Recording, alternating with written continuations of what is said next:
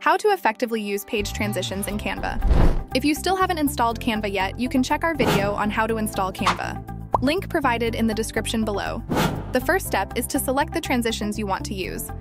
If you're not currently on the thumbnail view, navigate to it by clicking the Show Pages tab at the bottom of the editor. Once you have switched to the thumbnail view, hover your mouse cursor over a page thumbnail at the bottom of the editor. You will notice an icon appearing. Click on the icon or hover between page thumbnails to reveal the option to add transition. To better understand how a transition will look, you can preview it by hovering your mouse cursor over it. When you find a transition you like, simply click on it to apply it. Depending on your selection, additional transition options may appear on the side panel.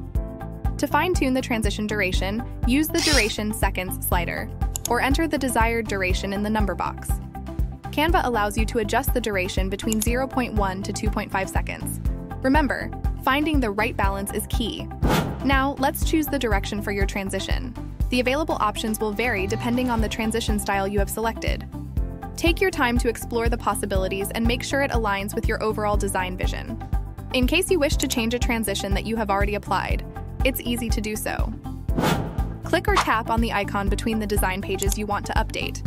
The appearance of the icon may vary depending on the transition style you applied. And that concludes our tutorial. We hope you found this helpful. If you have any suggestions or ideas on what we should cover in our next video tutorial, please let us know in the comment section below. Your feedback is valuable to us.